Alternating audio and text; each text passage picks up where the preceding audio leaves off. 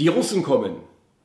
Norwegen Vorreiter bei neuer Realpolitik. Hallo und Privet aus Kaliningrad. Die letzten Jahre, insbesondere seit dem Staatsstreich in der Ukraine im Jahre 2013 und dem feigen, vertragsbrüchigen Verhalten westlicher Garantiestaaten an der Spitze mit der Bundesrepublik Deutschland, brachten Russland dazu, sich auf seine Kräfte und seine nationalen Interessen zu besinnen. Das Land entwickelte sich zum Reich des Bösen. In der Staatengruppe der westlichen Solidargemeinschaft unter Führung der USA begann man zu verstehen, dass die Zeit der erfolgreichen Kolonialisierung Russlands endgültig vorbei ist. Man kann nur noch versuchen, den Prozess der endgültigen Wiederherstellung der Souveränität Russlands hinauszuzögern.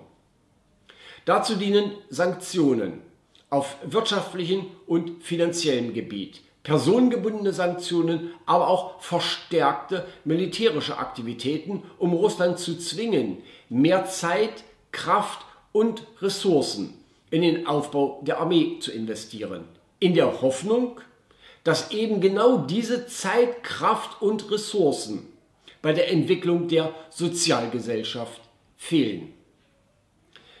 Diese Politik hatte schon zu sowjetischen Zeiten nicht zum Erfolg geführt.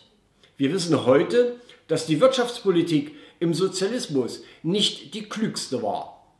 Wir wissen auch, dass im Sozialismus die Ideologie an erster Stelle stand und Dogmen regierten.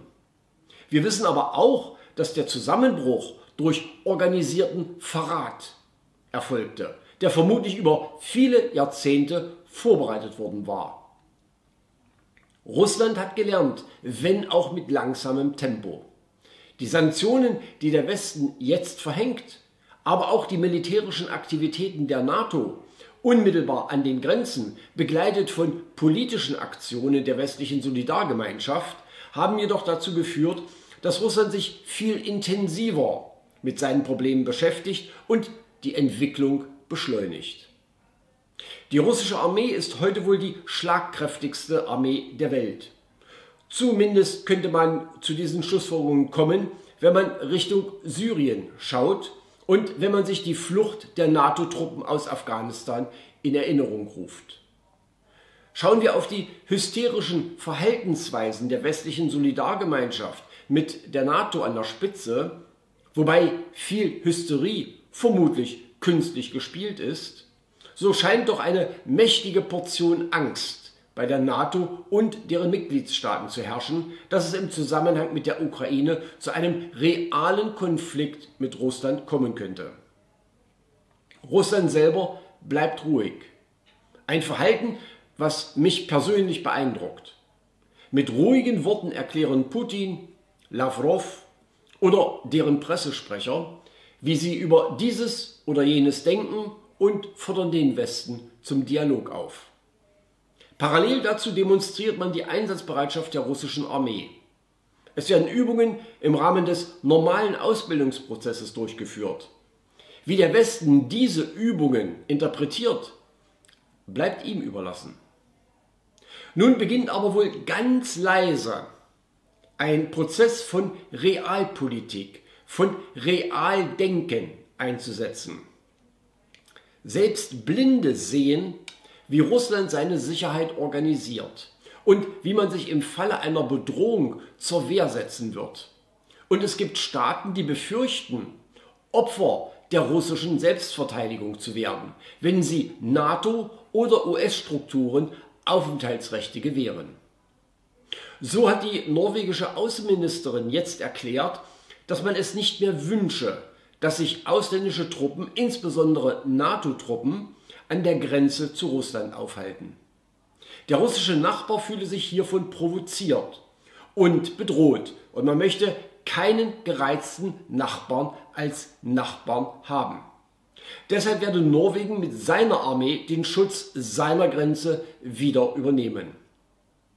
Eine sicherlich vernünftige Entscheidung der Norweger. Und wenn diese die NATO generell bitten würden, das Land zu verlassen, dann wird man sicherlich bald merken, dass sich die Russen das auch anmerken lassen. Diesmal im positiven Sinne. Ein russischer Politologe kommentierte, dass die Angst das Gefühl der Realität wiedergeboren hat. Es ist eine absurde Situation entstanden, wo die USA ihre Kriegsschiffe Tausende von Kilometern von ihrem Kontinent entfernt an die russische Küste entsenden, um Russland der Aggressivität zu beschuldigen.